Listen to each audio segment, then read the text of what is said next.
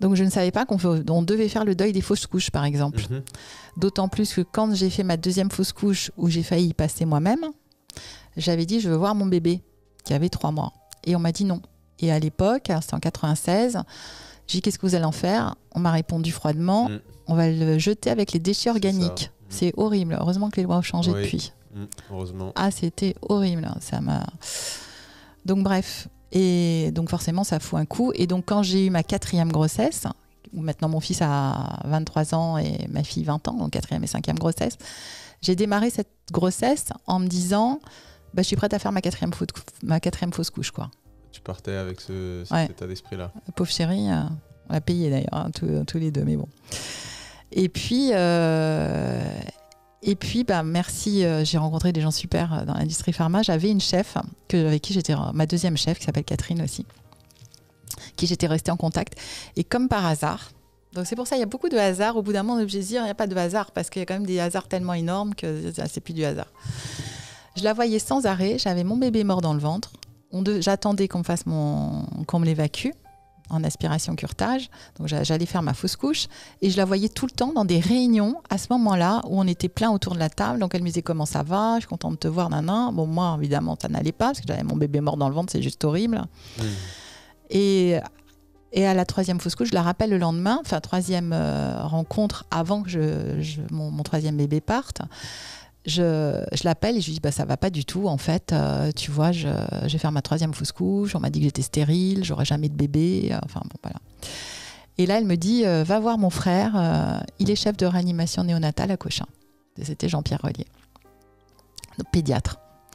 Donc je vais voir le pédiatre à 30 ans qui me reçoit très gentiment et qui me dit c'est quoi votre mode de vie? Et bon, c'est lui qui m'a rappelé après parce que moi je me rappelle plus ce que j'avais dit et j'avais dit en gros euh, 6h30 je me lève 6h35 je fais ça 6h40 je fais ça etc 7h20 je saute dans ma voiture et je pars au boulot et il me dit bah pour moi euh, c'est pas du, vous n'êtes pas du tout stérile c'est votre mode de vie bon je trouve ça bizarre mais néanmoins euh, n'ayant pas encore dans l'industrie pharmaceutique. Ouais. J'étais dans un boulot que j'adorais. hein. Donc, euh, je vais voir un médecin qui me recommande. Bon, c'était un médecin, donc ça allait, j'allais. Et là, euh, à la fois, première séance, je me dis, euh, il se fout de moi. Parce que. Alors, il me faisait des petits branchements comme ça. Je ne savais pas ce que c'était à l'époque, avec ses mains. Et puis à la fin, il me fait un petit, un petit massage comme ça de la phalange, 20 secondes. Il me dit, c'est fini. Je dis, mais il se fiche de moi là, celui-là. Et je paye ma consultation assez cher. Mais bon. Et je vais à ma voiture, j'avais une 205 à l'époque, euh, manuelle, qui la, vitre s'ouvrait manuellement, donc euh, je baisse ma vitre parce que c'était, il faisait beau, et je n'arrive pas à utiliser ma main, comme si elle était entièrement bleue. Je la regarde, il y avait rien. Elle avait l'air bien, mais moi la sensation c'est qu'elle était bleue. J'avais un grand bleu. Je c'est bizarre son truc quand même. Je vais, me donner deux mois et puis on verra. Et au bout de deux mois, j'ai commencé à sentir des parties de corps que je ne sentais pas. Et en fait, je ne sentais rien dans mon corps encore il y a 20 ans. Et donc, euh, au bout d'un moment, je lui dis, bah, je, voudrais être, je voudrais être enceinte. Et il me dit, bah, allez-y. Et, et donc, je vais, je le vois en septembre. Et là, il me dit, oh, vous êtes enceinte. Je pense que vous êtes enceinte. Je dis, bah là, vous êtes vraiment très fort parce que moi-même, je ne le sais pas. Je n'ai pas fini mon cycle. Et en effet, j'étais enceinte. Alors, C'était ton quatrième enfant. voilà.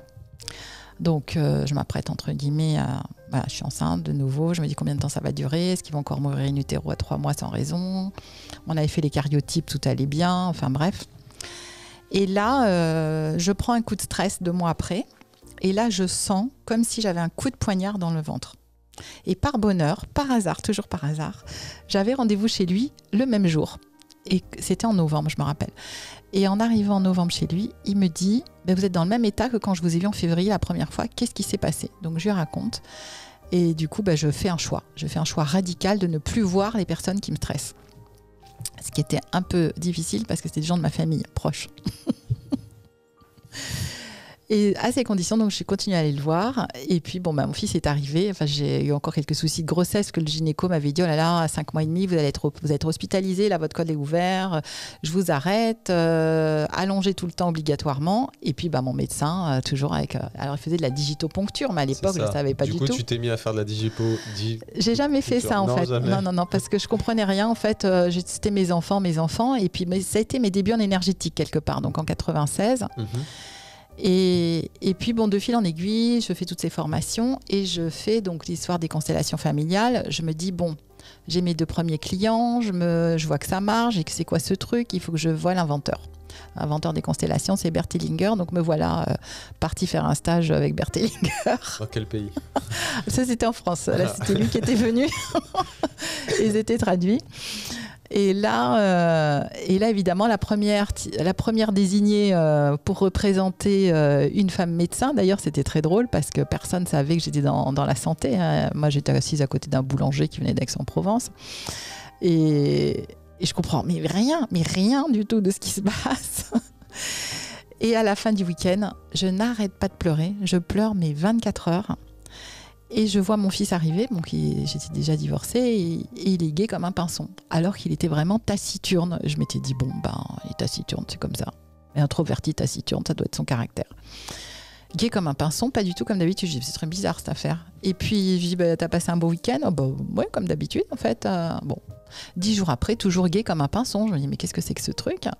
Je dis, mais qu'est-ce qui se passe? Dis-moi, ça fait quand même dix jours, tu vas bien, t'es joyeux, t'étais pas joyeux comme ça avant? Il sifflotait, il dansait. Il me dit, non, maman, euh, tout va bien, euh, je t'aime de plus en plus. Et en fait, qu'est-ce qui s'était passé? C'est que dans ce stage, j'avais été prise pour représentant, comme représentante d'une fausse couche, justement. Et donc, ça m'avait ouvert mon deuil à moi, mm. que je n'avais jamais fait avec mes fausses couches. Et donc, même si ce n'était pas mon histoire, j'ai été prise, ça m'a ouvert la mienne. Et donc, j'ai pleuré, pleuré, pleuré. Et j'ai fait le, mon deuil de 10 ans. C'est ça, mon fils devait avoir 9 ans à cette époque ça faisait dix ans en fait que je n'avais jamais pleuré mes fausses couches. On va pas pleurer des déchets organiques. Tu n'avais jamais pleuré tes fausses couches? Bah non. On vous dit, c'est on te dit c'est des déchets organiques. Donc tu es mal, tu sais pas pourquoi tu es mal. Et, euh, et tu en arrêt sur image, en état de choc, comme ça, pendant 10 ans. Ça aurait pu durer 50 ans si j'avais pas fait ça. Et aujourd'hui, tu en es où par rapport à tes pertes, à ces fausses couches euh Ah, bah là, c'est bon. Maintenant, on leur a donné des noms. Tu leur avais pas donné de nom Non, non, non. Alors, euh, en fait, quand euh, par rapport à des fausses couches ou des avortements, pareil, il faut donner un nom aux enfants, même si ça n'a pas été le cas. Et on les visualise à l'âge qu'ils auraient maintenant. Donc mon fils a 23, donc ils auraient 24 et 25. Et c'était très drôle parce que mes enfants ne, ne sachant rien, en fait, à l'époque, on, avait prenait des petits verres à moutarde avec les dessins animés dessus à la maison. J'avais toujours cinq verres à table. Je dis mais qu'est-ce que c'est que ça? Vous êtes deux à la maison, il y a toujours cinq verres de gamins sur la table. Et on rigolait, on disait ah bah oui c'est Alexandre, c'est Franck, c'est Xavier. Et parce que j'ai dit à mes enfants, je dis voilà il y a trois fausses couches, je les ai baptisés comme ça et, et après on a rigolé en fait et ils sont là. Ils sont là donc mes enfants savent qu'ils sont le quatrième et le cinquième à savoir évidemment premier, deuxième vivant, mais quatrième et cinquième de la fratrie. Ce qui est super important, parce que sinon, s'ils pensent qu'ils sont le premier et deuxième ils ne savent pas qu'il y a des enfants morts entre, alors moi j'ai pas fait d'avortement, mais ça aurait pu être aussi des avortements, mhm. et eh ben ils sont, ils sont pas à la place dans la fratrie et ils seront jamais à leur place dans le monde.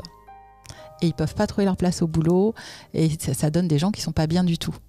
Donc c'est vraiment c'est un détail entre guillemets qui n'en est pas un et quand quand on est dans le déni ou quand on dit bah non on va pas en parler comme avant c'est ce qu'on faisait hein, on n'avait on pas toutes ces capacités qu'on a maintenant euh, donc on on, faisait pas ce travail de deuil euh, qu'on a la chance de pouvoir faire maintenant à condition de le vouloir hein, parce qu'il y a encore plein de gens qui veulent pas le faire et, du coup, bah, mes enfants, c'est des bouts en train finis. Enfin, mon fils, il passe son temps, les deux d'ailleurs, passe leur temps à faire la fête constamment. Donc, des étudiants, quoi. Donc ça valait le coup de faire le deuil.